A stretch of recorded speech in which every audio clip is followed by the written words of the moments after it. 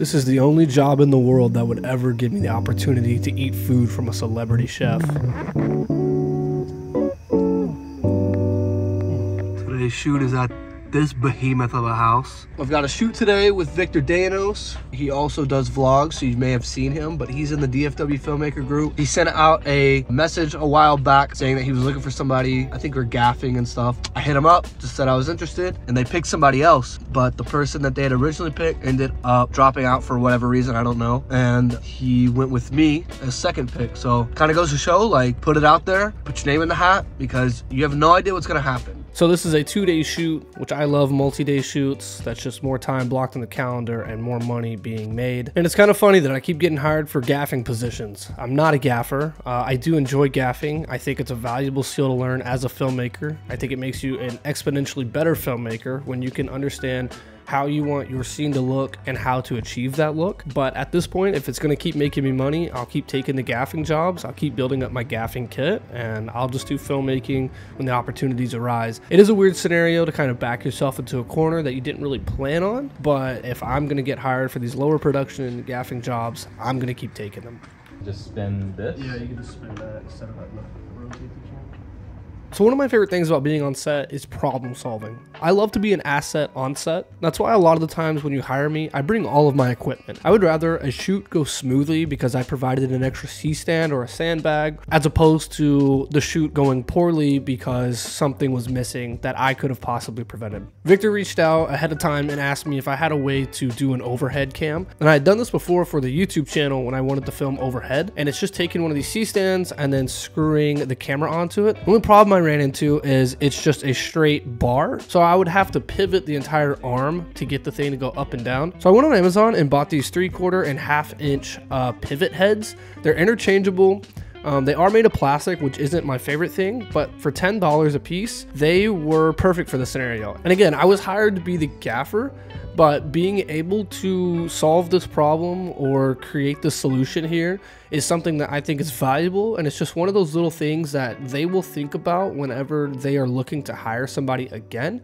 They're always going to look back on the person that made set life easier for them. And that is my job. That is my goal is to be an asset on set.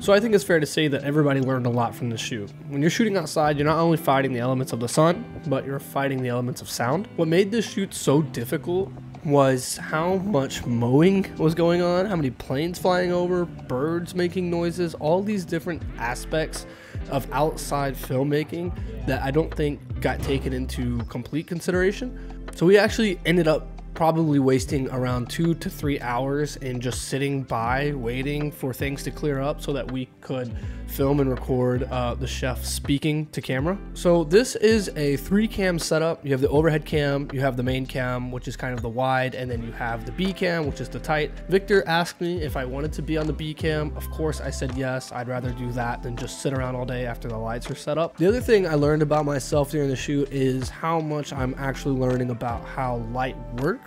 I'm getting better at figuring out where to bounce light, where to block light, how to diffuse light, and different things. And it wasn't really a product of me not having the knowledge uh, that was keeping us from achieving the results we wanted. It was more the lack of equipment that I had. And again, we made do with what we had. Thankfully, the porch was mostly shaded. So I am definitely proud of myself and the team for what we are able to pull off for the shoot. No, you uh, no, no, no, that's different. That's completely different. It's like two grand, isn't it? Like that monitor? This one? Yeah. No, it's actually like a thousand. Really? Yeah, the 702 Touch. I yeah. like it. It's like so crispy. Yeah. Traditionally,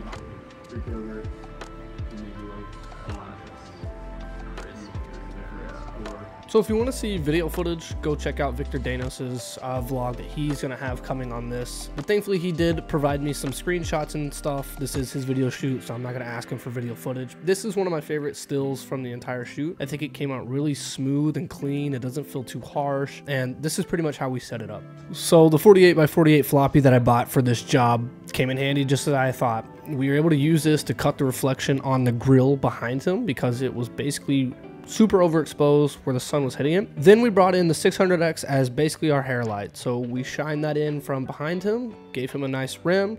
It made it look like it was the sun coming through.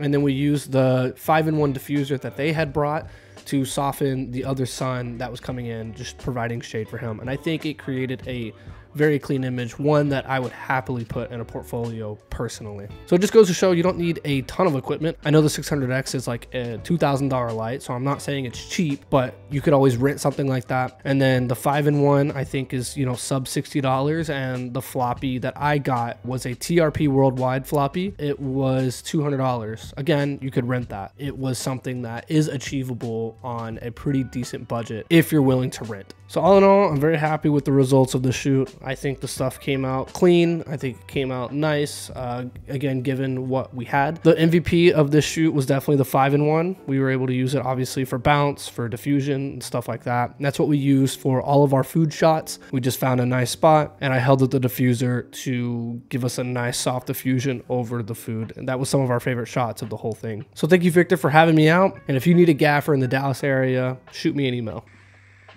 There she is. Brand new office. I packed my tape measure away, but nothing gaff tape can't fix.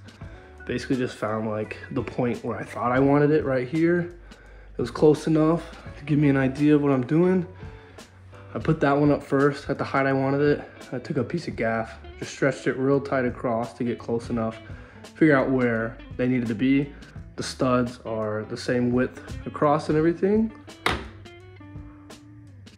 Perfect.